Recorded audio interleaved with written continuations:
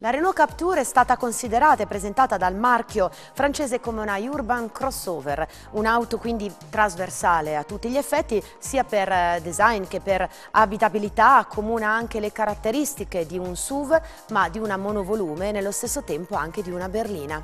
E voi che cosa ne pensate? Diteci la vostra, la redazione intanto l'ha provata per voi e sicuramente ha una propria opinione. Andiamo a scoprirla insieme. Per la prova della settimana Renault Capture, un grosso successo commerciale da parte della casa francese per questa che potremmo definire la sorella vitaminizzata della Clio dalla quale deriva. Pianale leggermente più lungo, sono 6 cm in più, ma 6 cm in altezza. Direi che questo è l'aspetto importante dell'auto che ha anche dei parafanghi leggermente muscolosi, dei codolini in plastica, per questo aspetto un po' da sport utility pur mantenendo, dicevo, la trazione anteriore, e 5 posti comodi e una capacità di carico che pensate può sfiorare i 1400 litri.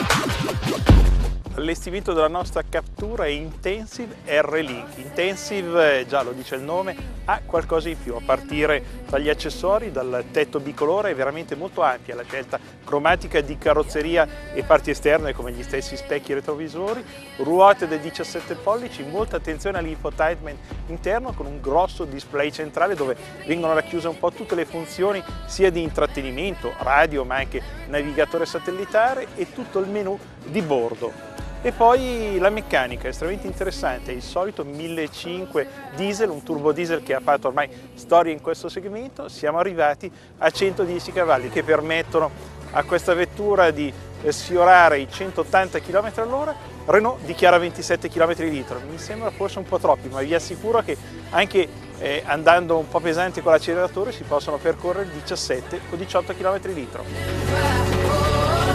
Alla guida di Renault Captur eh, si rimane sicuramente soddisfatti dell'aspetto generale, intendo buone plastiche, un volante rivestito in pelle, sedili confortevoli, tanto spazio anche per chi siede dietro, direi una 5 posti confortevole, una buona capacità di carico. Posizione di guida leggermente rialzata, visibilità ottima e poi sotto il copano questo diesel sempre pronto alla risposta dell'acceleratore buon cambio a 6 marce, ben rapportato, il tutto permette di avere dei consumi nella guida media attorno ai 17-18 km litro reali, direi che questo è un gran risultato per una vettura che sfiora i 190 km all'ora, dunque prestazioni eh, di riferimento. Dunque una vettura eh, da famiglia che ci permette di affrontare lunghi viaggi nel massimo conforto e dire che aspetti negativi su quest'auto non ne ho sicuramente trovati. Conclusione, Renault Capture è una vettura estremamente interessante, con un prezzo